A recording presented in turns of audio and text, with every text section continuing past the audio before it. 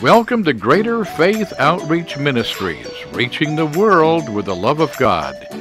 Hello, hello, hello, and welcome to Greater Faith Outreach Ministry here at BD Local. We have CareNet in the house. yes, they're doing wonderful work for so many generations. But we're going to get into that. But I'm going to let Elizabeth Kim, my co-host, she's going to start it off.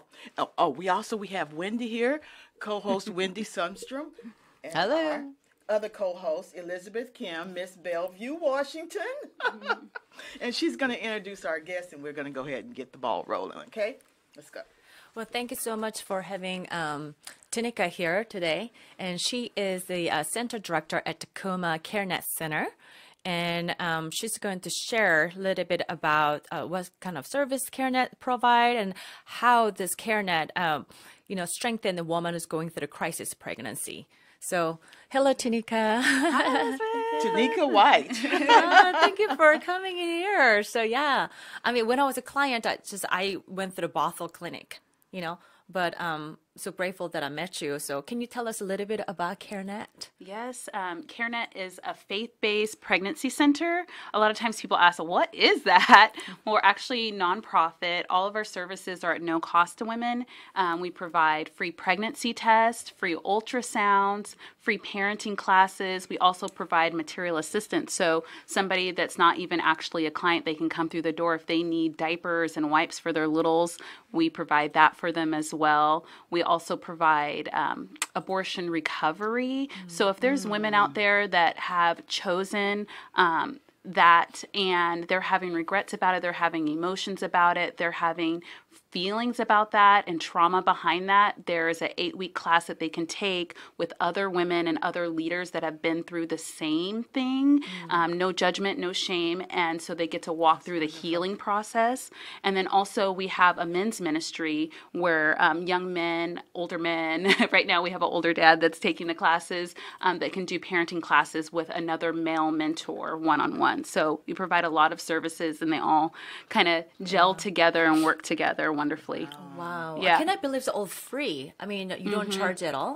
not not at all we don't even require insurance or anything like that i know there's other programs that require insurance but there's no red tape so you So- can come right in If you don't mind me asking, is this a government funded or who?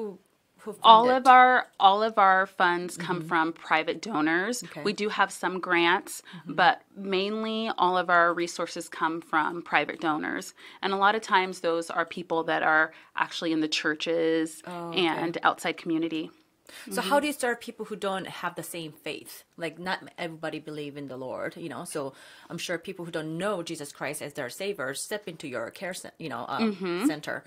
Um, do you have any success in that? Do, are they open absolutely absolutely. So if there's an open door and we see that somebody is open to receiving um, more guidance in their faith and want to know more about christianity then we share that. Um, but we don't force our beliefs on anybody. We're here to care for that person and we don't let anything else stand in the way when it comes to that. So um, daily we have clients come through our door that are not christian and then sometimes we do but um, a lot of times we get to pray with them regardless. Um, we get to share faith with them a lot of times and it's really amazing. I think that i probably pray for like 99% of my clients. Even oh, atheists sometimes come through the door and i'm like is there any way i can be praying for you? And they say yes can you pray for this this and that? And we get to pray in that appointment. And sometimes i get to have a continued relationship with those clients and sometimes i don't get to see them again. So yeah. That's awesome. That's mm-hmm. sweet. Yeah. Do you have any question, ladies? Well, I'd like to say if you if you are out there and you are able to donate to this awesome ministry, I would encourage that. And her name and her ministry should be rolling alo- along the bottom of the the feeds. So as you're watching, so take that number down, jot it down, and and send her some donations if you can. So, so what is the expectation? Like, um, I was referred by my friends like 10 years ago. So I did not know, I didn't have health insurance at the time. So I didn't have any option but going there.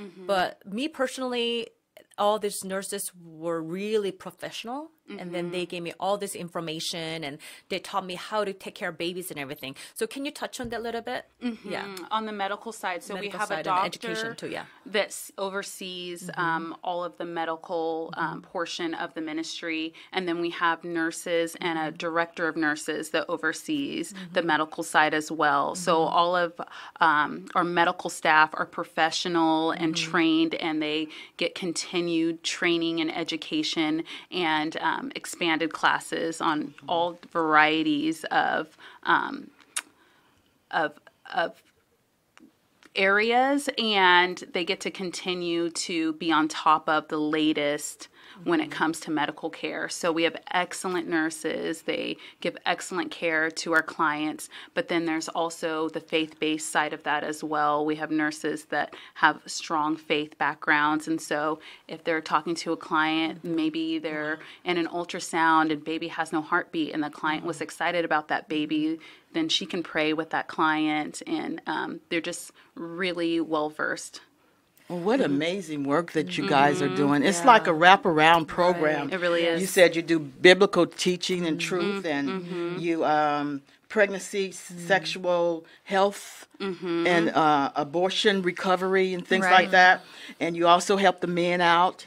Yep. Right? You're just it's just so much compassion in here, you know. I mm-hmm. feel that. And you're doing so much and what you're doing is investing. You're investing your life and yourself into this next generation, which mm-hmm. means so much, you know? Mm-hmm. yeah, exactly Yeah, it means so much to invest yourself Right. into the lives of these children. You don't know who you're investing into the governors, lawyers, preachers, Right. doctors, you know? Right. It's just awesome. I'm Right. excited about Yeah, what you guys right. are doing. I really am. You're a so, so let me ask you. So, um, there are not many people want to maybe keep the baby. You know, I was struggling at the time too, out of fear, lack of resources, and everything. So, um, have you ever run into clients who actually just want to abort a child? Oh, absolutely. Then how do you?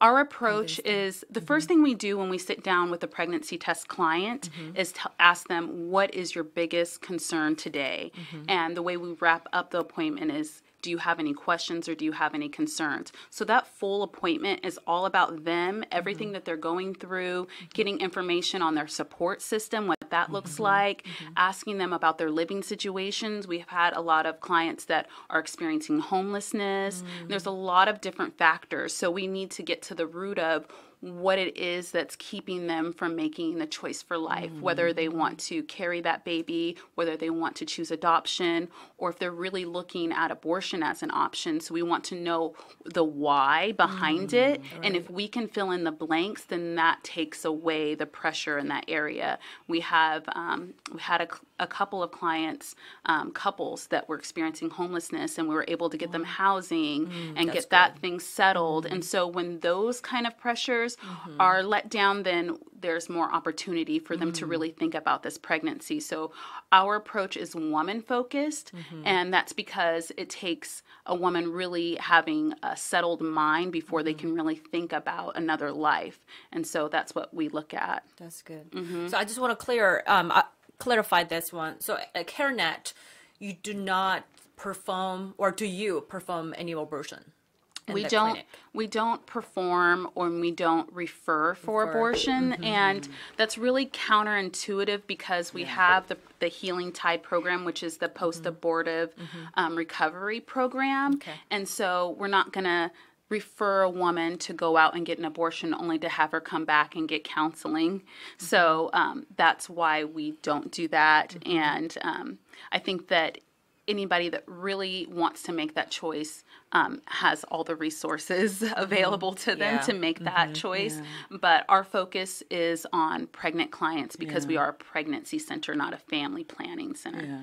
And that's good. I heard you say you listen to what they have to say. Why would they do that? So they want to know what do I do? Where do I go? And they also want to know where does life start? A lot Right. of times the doctors will tell them, "Oh, it's just a you know a fe- fetus is not you know a baby yet." So you guys are there to show them the truth Okay, and it and it helps out, you know, when they know the truth when the baby starts, the life starts Yeah, from exactly. Right. And we perform those Conception. OLI ultrasounds. And so we don't have to convince a woman. Once they go mm. into that ultrasound room, we always say that's where the magic happens. Yeah. because when they see that heartbeat on the screen, we don't have to tell them. So I believe it's 96% of our clients that go to ultrasound choose life for their babies. That was and me. So, yep. That was me. Mm-hmm. There you oh like, go. This nurse, I was, I think that was Sue at the time. She's like, I see the little baby. It was a little tiny jelly bean. I was like, I was like, not a baby, not a baby. And then he's like jumping around, you know, in your belly, and you know, I could see that his head's full of energy, and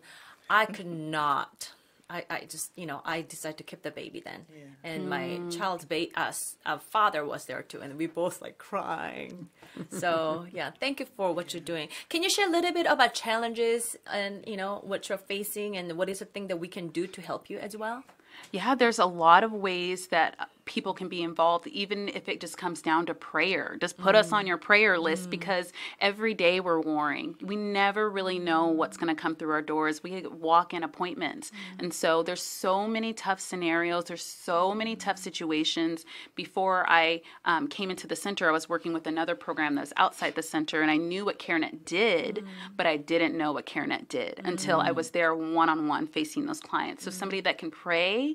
Um, also, if um, you have the funds to be able to mm-hmm. donate to the centers, we always need diapers. We mm-hmm. always need wipes. Mm-hmm. Um, we always need those baby items. If they're lightly used or brand new, just send them in. We get there's so many times where we have clients that need this and they need that, and we're like, oh, what are we gonna do? And we pray about it, and then like the next day it comes in the mail, and we're like, Praise what? God. Anonymous. So that's great if you can donate that way, and also you can always write us a nice juicy check. We don't. Turn those away. So, Yeah, yeah, yes. absolutely. And then if you really want to be hands on and you really feel called to be a volunteer, Yeah, I was gonna we ask. We good. definitely uh open the door for volunteers. And um, it's not the most easy p- process.